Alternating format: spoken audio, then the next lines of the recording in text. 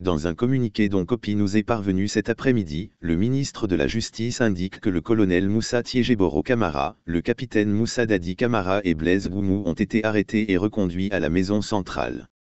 Seul Claude Pivy ne serait pas alors arrêté. Selon le ministre, l'opération qui a permis l'exfiltration de Dadi, Tiégeboro, Blaise Goumou et Pivy a été menée par un commando dont les éléments n'ont pas été identifiés.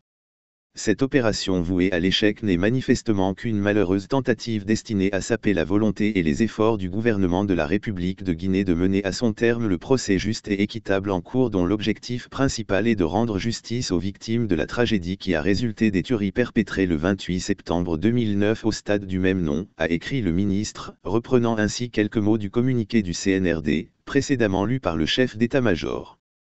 Des armées le ministre de la Justice indique qu'une cellule de crise a été mise en place.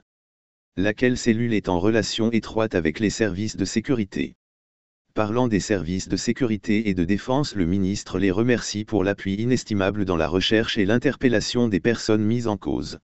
Dans la nuit du 3 au 4 novembre, au début de l'aube, un commando a fait irruption à la maison centrale, la plus grande prison de Conakry où sont détenus les quatre prisonniers Moussa Tiégeboro Kamara, Moussa Dadi Kamara, Claude Pivy et Blaise Goumou depuis plus d'un an pour leur implication présumée dans le massacre en septembre 2009 de plus de 150 personnes au stade Conakry.